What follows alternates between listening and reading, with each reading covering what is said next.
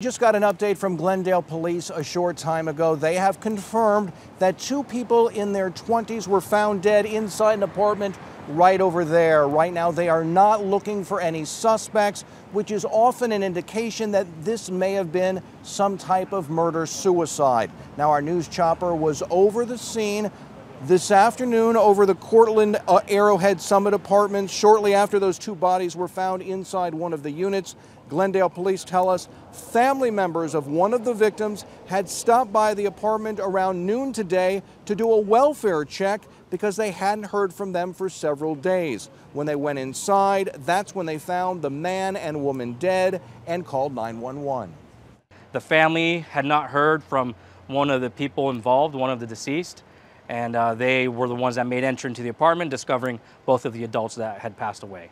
This is a tragic event, not only for our officers and investigators involved that have to see this scene, but I mean, just consider the family are the ones that encountered this.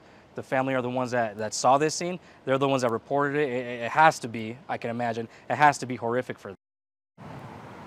The apartment complex just released this statement that said, We are aware of the incident and we are working with law enforcement in their investigation. Resident safety and well being are our priority, and our hearts are with the family of those involved.